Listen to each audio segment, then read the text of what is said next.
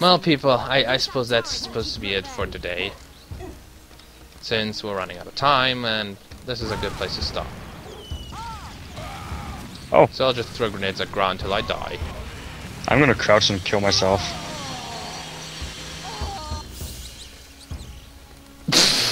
cool.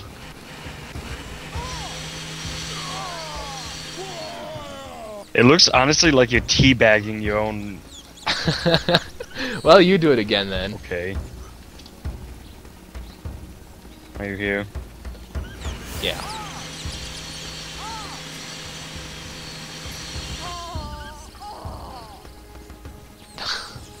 wow.